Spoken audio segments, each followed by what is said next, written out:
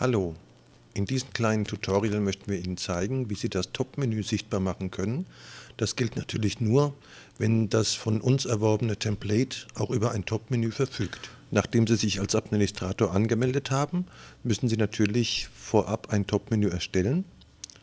Das haben wir natürlich hier schon getan. Wenn das erstellt ist, gehen Sie bitte auf Erweiterungen, Module, wählen das Top-Menü aus und geben die Position User 3 an.